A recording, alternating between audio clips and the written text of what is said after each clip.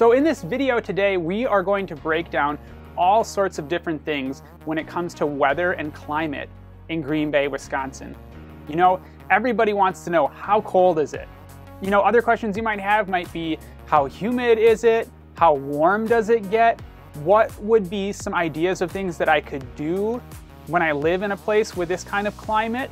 So we're gonna break that down to help you get a better idea of what it actually looks like. Yes, we do have all four seasons.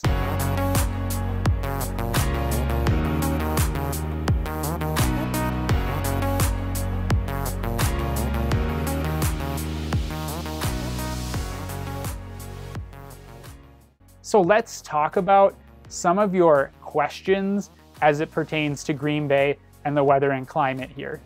What is the coldest month in Green Bay, Wisconsin? The coldest month in Green Bay, Wisconsin is January. The low average temperature is somewhere around like 9 degrees, but that's not factoring in wind chill, I don't think, or anything like that. So it can get a lot colder than that, but you know, the average is around 9 degrees. Not fun time to be pumping gas. So we talked about how cold it gets.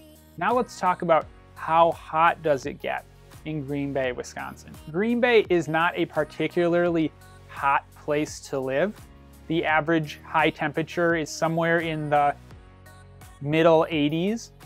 You know, we'll have our 90 and 100 degree days from here or there, not a a really predominantly high 100 degrees super often kind of thing. And uh, the hottest month of the year is July in Green Bay. So it's a really fun time with the 4th uh, of July fireworks and all of that to just really relax, enjoy the warmth, and kind of take it in at that point. But again, like I was saying, the averages are only in the 80s, and so you get a fairly comfortable summer heat, not an overbearing kind of wear you down and break you out, break you down kind of heat in Green Bay. Another common question people have is how much does it rain in Green Bay, Wisconsin, or how often does it rain in Green Bay, Wisconsin? It rains about, on average, I believe the average was around 30 inches a year in Green Bay.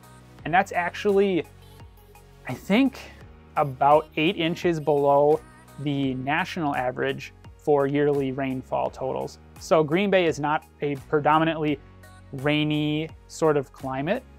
As far as days of rain go, Green Bay averages, I think, around 130 days of precipitation. And I believe that also includes snowfall as well. So, yeah, around 130 days of precipitation and on average about 30 inches of rainfall. Another commonly asked question is well, what do you do in the winter in Green Bay when it has those low temperatures like that. You know, people have been adapting and finding ways to have fun for a long time in Green Bay.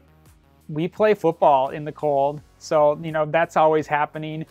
I love to go ice fishing, although I'm kind of a wimp when it comes to cold temperatures, so you won't find me out just sitting on a sheet of ice most often.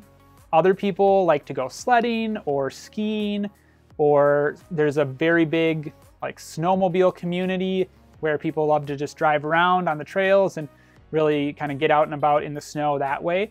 And when we have these really nice kind of snowy days where we'll have, you know, fluffy white powder everywhere, the temperature actually isn't really that cold on those kind of days because the humidity needed to you know, create that kind of precipitation is there, and I think it kind of warms it up a bit. So often when it's snowing, it's actually not that cold, versus when it's like you wake up in January or February and you look outside and it's really sunny and clear skies, buckle in because it's probably like really cold outside. I kind of call it like eye eyeball freezing weather. You go outside and you blink and your like eyeballs kind of froze a little bit. So if you see one of those really clear days in January or February, just be careful. They're probably really cold versus if it's cloudy and snowing, it's actually probably warmer out. To me, Green Bay is a nice place to live weather-wise. Yes, there are the hard, harsh winter times, but I think that as you adapt and figure out ways to make it through that, you really do get to enjoy all four seasons in Green Bay. One thing that will actually help you enjoy those seasons more is if you have a place to live that is well suited to taking on the elements and maybe helping you avoid them at times. And so if you're looking to buy or sell a house, make sure to reach out to me.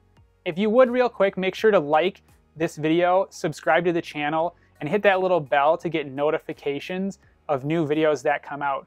I really am enjoying making these videos, and I hope you are enjoying getting to know more about Green Bay as well. As we sign off, my name is Andrew Geiwitz.